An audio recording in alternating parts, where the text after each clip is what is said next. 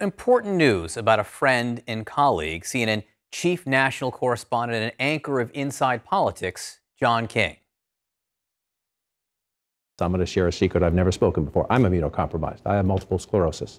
All right? So I'm grateful you're all vaccinated. I'm grateful my employer says all these amazing people who work on the floor who came in here for the last 18 months when we were doing this are vaccinated now that we have vaccines. I worry about bringing it home to my 10 year old son who can't get a vaccine. I don't like the government telling me what to do. I don't like my boss telling me what to do. In this case, it's important.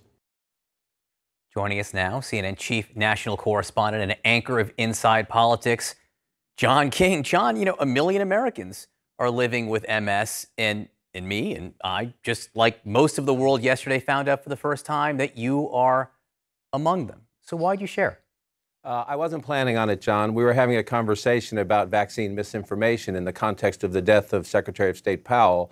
And Dr. Wen, one of our great medical experts, was talking about how you know, we shouldn't be lying about vaccines because the data is overwhelming. This is not a debate anymore. The data is overwhelming. The vaccines work. Uh, we should not be lying and being reckless and dangerous. And she talked about a sense of community. And because of my personal experience, the issue has been front and center in my mind throughout the COVID crisis. And it just came out yesterday in the sense that I do not understand people who get up in the morning, who are vaccinated themselves, and who willingly lie to get attention, to get clickbait, to get whatever. I do not understand it. We can have a debate about vaccine mandates. We should have big debates in America about the big issues in our country, but we should do them based on facts. The vaccines work, and it's not just a million people with MS like me, John. There are millions more like General Powell. So we just don't know. One of the things I have learned in the last 13 years dealing with this is so much of it is hidden. People don't see it, don't see it when you're having a bad day. So you don't know. Is the person next to you immunocompromised? The person in the grocery store, somebody you know and love, or a perfect stranger? So, what is the harm of getting a vaccine that we now know is safe? This is not January or February. The questions then were legitimate. Tens of millions of people, tens and tens and tens of millions of people here and around the world have received these vaccines. They work. They are remarkably effective at driving down COVID. What is the harm of putting on this? When you go to the grocery store or when you might be in close proximity to your Uber driver, uh, to your doctor, to anybody in your life who you might not know needs your help. What is the harm? I, I can hear it in your voice, John. I can hear it. And, and, you know, I've known you since you were the AP reporter and, and you know, it's strictly the news. And, and this is different. I can tell this is getting to you. And it was specifically, I think, the coverage of the death of Colin Powell over at Fox that ticked you off. Um, yes, uh, yes, it's a cumulative thing, but just to hear, look, uh, Colin Powell is an American treasure. We lost a hero right? And for people to say this is proof vaccines don't work because Colin Powell was vaccinated and he died as proof vaccines don't work when just the opposite is true. Uh, just the opposite is true. Yes, Colin Powell was vaccinated, but he had a condition that compromised his immune system, as I do, because of the medications I take, the medications that have helped me remarkably. I'm grateful to my doctors. I'm grateful to the researchers who are working on MS, who are working on Parkinson's, who are working on anything, uh, you know, to make people better, to help people through crisis. To lie about the effectiveness of vaccines vaccines is just numbing. I, I, look, I've been doing this for a long time. We've known each other a long time. I don't like injecting myself into this. It's not my way. It's not my training. It's not my place.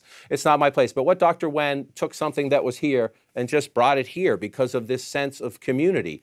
Uh, I get politics. I get the polarization. Uh, but this, we are getting to the point, John, where by Thanksgiving dinner, the population of Denver will have been wiped out by COVID. Is that not big enough to startle us to say, let's put our politics aside and let's debate these big questions, but let's debate them on facts? The world is round. Trump lost. Vaccines work. Uh, these are the debates, then have debates within the context of that. The climate is in crisis. These things are not in dispute, but some people want to put them in dispute for reasons I do not understand. And what crossed the line for me was lying about an American hero when those 728,000 people who have all, we have already lost, they're all heroes to somebody too. Uh, they're, they're all heroes to somebody too. And to lie about vaccines and make it worse today and tomorrow based on all we now know is just reckless. And it pushed me across the line. With your for permission. Better, for better or worse. With, with your permission, I got, I got a lot of questions, John, as a, as a, as a friend and a colleague. Fire away. You just said 13 years. Yeah. Diagnosed 13 years ago. Yeah, I've had I've had problems going back to when I was covering the Clinton White House. I have not been really able to feel my legs since the late 1990s, and uh, it took a while to figure out what it was. And after I had some issues covering the 2008 um, Republican convention for CNN, when I had problems, they problems moved from my legs up into my upper body and my hands. And uh, that's when I got the diagnosis, the MRIs and the scans. Uh, and they diagnosed me with MS. And back in those days, it was frightening. It was very frightening. And I decided to keep it a secret. And then I kind of got caught in that. And, you know, very few people, a few people, a dozen people know, my siblings, my family, uh, those closest to me and my family have known about it. And then more recently, I told some people that I work with. Um, mistake to keep it a secret because if I can do anything to help, I should have done that. I was scared early on. Uh, it's a challenge. It sucks. Every day it is with me in some nagging way. In other ways, some days it's with me in more profound, uh, challenging ways. You fall down. You can't pick things up. Uh, but I'm so lucky, John, and that's the point. That's one of the reasons I've been reluctant to talk about it, is that there are people who get this disease and other diseases who are not so lucky. Uh, mine has progressed very, very slowly, thanks to medications, thanks to great doctors, thanks to a great healthcare plan here uh, at CNN that has not made this break my bank account uh, if you will. And so there are a lot of people out there who, for who this struggle is much more dramatic than mine. And so I don't want to draw attention to myself, except to say that there are, it, what it has, I hope it's made me a better person. It has certainly made me a stronger person. Uh, but it, what it has made me aware of is that whether it's somebody you love or a perfect stranger, there might be somebody out there that you should help. Forget about politics. What did our mothers tell us? What did our, our, you know, our priests and our rabbis and our ministers tell us? Love thy neighbor. If you can do a simple thing like this, or like getting a shot that we all know now is safe that helps somebody else and helps yourself, why not? And then, and if you don't want to do that, fine, that's your right. Don't lie about it. If you care about the magic wall, get the vaccine.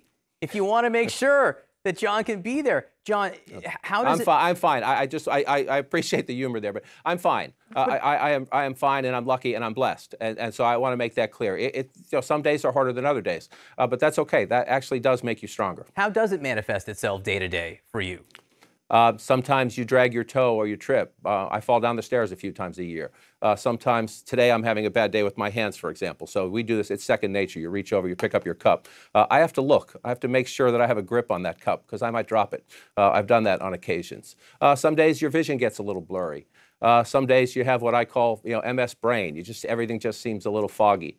Um, I don't believe that. I don't believe. it's hard. It's hard for me to believe that, that that your brain is ever foggy. For those of us who were glued to every word you say for hours on end. But really, it does affect sometimes. It's it's different. It's it, it's different for everybody, which is why it's such a frustrating disease, as many diseases are uh, for people, and many conditions are for people. It's different for everybody. For me, heat and stress tend to be my triggers, which is why I'm grateful the Washington summer has passed. Um, I hope nobody noticed it, but election week in America was probably one of my worst weeks last year. Um, I was having a lot of trouble uh, functioning. Um, but you learn, uh, you just you, one of the one of the gifts of the challenge. That might sound weird, but one of the gifts of the challenge is that you learn how to focus and you learn to rewire uh, how you do things, and you learn to become much more aware of what you're going through. And I hope that gives me a lot more empathy uh, for other people out there who, again, um, you know, you do not know that the person you're standing behind at the grocery store or at the coffee mm-hmm. shop uh, might be going through this too. And they're looking around a little nervous uh, in, in the current environment, in this pandemic environment, which has brought it front and center. They're looking around a little bit nervous. Well, you know, this helps them. Mm. It helps save them. That is somebody's mother or brother or teacher. Uh, that person is a treasure to somebody, like Colin Powell was to America. What is the harm? I don't get it. I have a couple more, and I know this is not something you enjoy doing. So, so again, forgive me for this, but but election nights, you just talked about that. Election week was bad for you. The magic wall. Is this something you deal with when you're talking for hours and hours and hours on end? Um, I notice it when it happens. Um, Dana texted me on one of those nights. Uh, Dana Bash, um, you know, we have a beautiful son together, who is, is, one of the reasons I get so motivated about people lying about vaccines because it's my job to protect him. Um, and she noticed and texted me once during election week, "Are you all right?" Because she knows. Um, and uh, I was okay. It's just there are just times when you're up for a long stretch uh, and um, you know where you just if sometimes the combination of stress and hard surfaces, standing on hard surfaces for a long time, um, can can somehow exacerbate my symptoms. Sometimes uh, you get fatigue. Sometimes uh, it's okay. I was I was I was actually. I, I, was proud of myself. I don't like to talk about myself. I'm sorry, I, but I, at the end of that week, I was proud of myself because I knew how hard some of those days were. But it was important for me to do it. And um, one of the challenges of getting through this, and again, there are millions of people out there uh, dealing with MS and other issues who do this every day. And so I'm not special. It's just what you do. It's what you do. You have something that challenges you, and you have to find a way around it. Uh, and you need the love mm-hmm. and support of your friends, and you need good doctors. And when these conversations come up about medical things, uh, as you just went through with Drew Griffin and that remarkable piece, we need the truth. Let's debate things, but let's do it based on the truth. And let's do it, especially when you know the people at the network you mentioned who are doing this, they're all vaccinated, John. They know. They know these vaccines are safe, they are effective. Debate mandates all you want. Debate them on facts and truth, not lies.